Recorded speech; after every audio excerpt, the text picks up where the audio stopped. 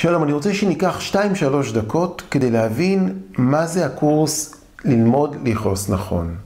כבר למעלה מ-25 שנה שאני עוזר לגברים ונשים לצאת מהעולם של התפרצויות הזעם.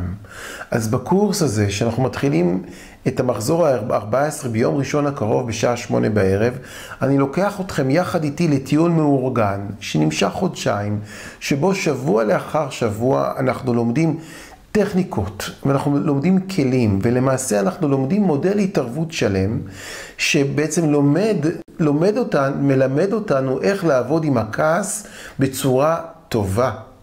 רבים מאיתנו למדנו לחשוב שהכעס הוא רגש הרסני, ובמסע שאני הולך להעביר איתנו, אנחנו נלמד לכבד את הכעס, לעבוד איתו נכון, אבל זה לא רק על הכעס. מאחורי התפרצויות מסתתרים צרכים ומסתתרים רגשות. אנחנו נלמד לדבר את הרגשות שלנו ונלמד לדבר את הצרכים שלנו בדרך מקרבת, בדרך שהיא היא, היא מלמדת אותנו לנהל את הריבים ואת הקונפליקטים שלנו בצורה שפויה. ונתראה במחזור הקרוב, בשישי לשישי, יום ראשון, בשעה שמונה בערב. למי שעדיין מהסס, מהססת, בואו רק לשבוע ניסיון. ואחרי זה תחליטו אם ממשיכים או לא ממשיכים. להתראות.